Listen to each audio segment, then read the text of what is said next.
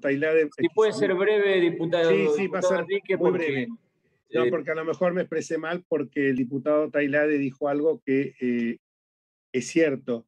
Lo que se rechazó in limine es lo de las fiscales.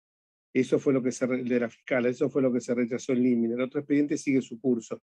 Y por otra parte, adhiriendo a lo de la senadora eh, Silvia Arias de Pérez, quiero señalar que si existen denuncias por mal funcionamiento, cualquiera sea su entidad de algún miembro del Ministerio Público, deben remitirse los antecedentes a la Comisión de Juicio Político si ello involucrar al Procurador General o al Tribunal de Enjuiciamiento si involucra a otros fiscales, sin perjuicio de hacer todas las denuncias penales que podemos hacer si fuera pertinente, pero insisto que no corresponde un seguimiento y una permanente injerencia, o como dijo la senadora Elías de Pérez, una suerte de hostigamiento permanente y de una injerencia de una emisión inadmisible de una comisión del Congreso en la gestión de lo que hoy se llama, en la doctrina en general, el cuarto poder, que es el Ministerio Público.